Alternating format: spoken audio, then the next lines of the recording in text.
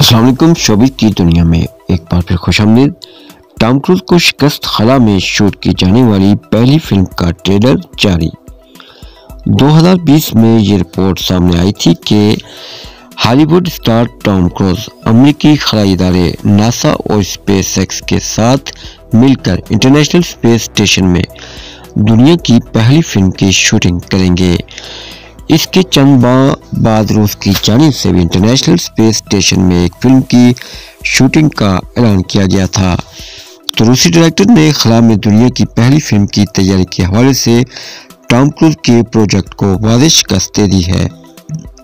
इस फ़िल्म का पहला ट्रेलर अब जारी कर दिया गया है। रूसी अदाकारा यूलिया परी को फ़िल्म दी चैलेंज के अहम किरदार के लिए तीन हज़ार उम्मीदवारों में से मुंतखब किया गया था। इस फ़िल्म की कहानी एक ऐसी खातून सर्जन के गिर्द घूमती है, जो कि एक खलाबाज को बचाने के लिए इंटरनेशनल स्पेस स्टेशन पर जाती है।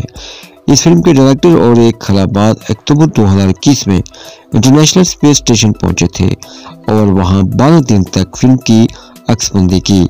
जहाँ तक टॉम क्रूज की बात है तो अब भी वो खला में बनाई जाने वाली पहली हॉलीवुड फ़िल्म का एजाज अपने नाम कर सकते हैं।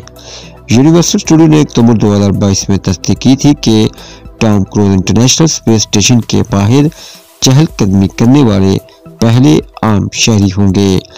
ये वो काम है जिसके लिए नासा की जानब से कई माह की तरबियत दी जाती है।